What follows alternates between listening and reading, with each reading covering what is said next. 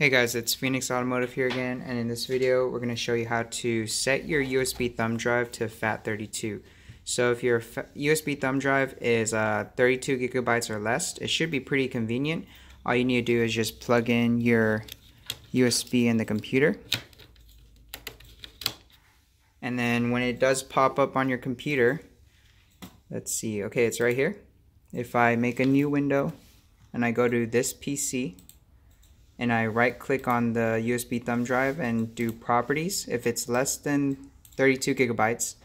Um, how you check is the file system will say FAT32. If it says something else, what you're to do is right click on the USB thumb drive, press format, and in the file system you can choose what file system you want. I'm to choose FAT32 because it's less than 32 gigs. I have that option. If it's more than a 32 gigabyte thumb drive, you will not have a FAT32 option. So what you can do is uh, in the description below, there should be a link to a Dropbox link. And that Dropbox link will take you to a program to download.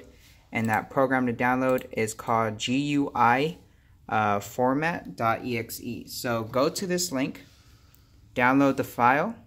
After you download the file, it should be in your uh, downloads folder, which is right here. You could see GUI format. If I double click this right here, ask me uh, allow permissions, yes.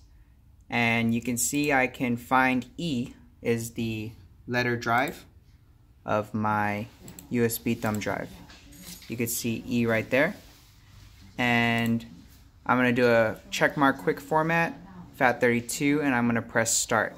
Now if you do have an error, what you want to do first, if you press start and you get an error, what you got to do is first format the drive again and set it to exFAT and press start. So if you get an error, make sure you format the drive first.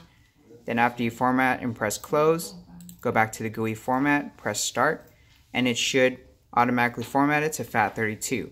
And again, to check the status or the properties, right click on it, properties, and it says FAT32.